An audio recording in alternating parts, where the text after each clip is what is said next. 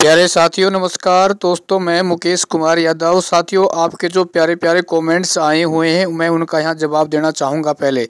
दोस्तों, देखो, सबसे ज़्यादा कमेंट्स यही पूछा गया है कि किस शिफ्ट में सबसे ज़्यादा नॉर्मलाइजेशन का जो फ़ायदा होगा, ठीक है ना? और दूसरा सबसे बड़ा पॉइंट है, क्या इसके, इससे कट ऑफ़ में परिवर्तन आएगा या नहीं आएगा?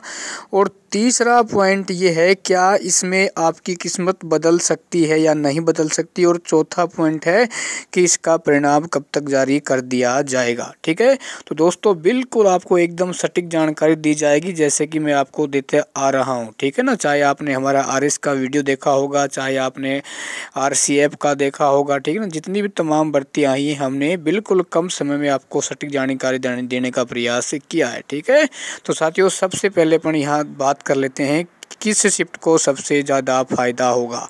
देखो दोस्तों, मैं आज भी कहता हूँ, और जब आपका इसका नॉर्मलाइजेशन की प्रक्रिया पूरी हो जाएगी, तब भी मैं एक ही बात को आपको कहता आ रहा हूँ, और डंके की चोट पे कहते आ रहा हूँ, ठीक है ना? कि नॉर्मलाइजेशन से किसी भी पारी को क्या नहीं नहीं मिलेगा भाई प्रॉफिट नहीं मिलेगा। ये नहीं कि पहली पारी को प्रॉफिट मिल जाएगा, दूसरी को मिल जाएगा, फिर तीसरी, चौथी के साथ कोई भेदभाव हो जाएगा, ठीक है ना? ऐसा कुछ भी नहीं होगा, बिल्कुल एक समान औसत यानी रेशो के आधार पर आपका नॉर्मलाइजेशन किया जाएगा, ठीक है और दूसरी बात है कि प्रत्येक स्टूडेंट का नॉर्मलाइजेशन होगा।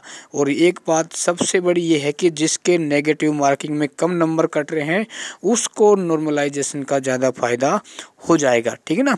देखो दोस्तों नॉर्मलाइजेशन इसलिए किया गया है क्योंकि इसमें तो जो आपका तेईस व चौबीस दो डेट को जो चार पारियों में एग्ज़ाम हुआ था तो उसमें कुछ पारियों का जो पेपर का जो लेवल था, कुछ आसान था, ठीक है ना? इसलिए भाई, ताकि सभी स्टूडेंटों के मन में ये ना रहे कि हमारे साथ क्या हुआ है, बहुत ही बड़ा एक अन्याय हुआ है, ठीक है ना? इसलिए जो कमेटी बनाई गई है, वो आपको पेपर को समझते हुए इस प्रकार से आपका नॉर्मलाइजेशन करेगी कि सभी सभी को खुश होने का मौका मिलेगा, ठीक है?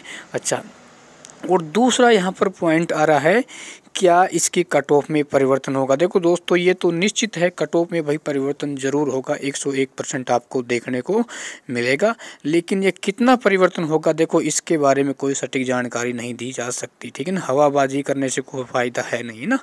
अच्छा उसके बाद ये है कि इसका परिणाम कब तक जारी कर दिया जाएगा? पहले साथियों, दिसंबर माह में इसके परिणाम जारी होने की संभावना थी, लेकिन वो क्या है, कोसों तक दूर तक नज़र नहीं आ रही है तो मान कर चलना कि इसका परिणाम है साथियों जनवरी में जा, जाकर आपको देखने को मिल सकता है, ठीक है ना? और बाकी जो अपडेट आएगी मैं आपको अवगत कराते रहूँगा।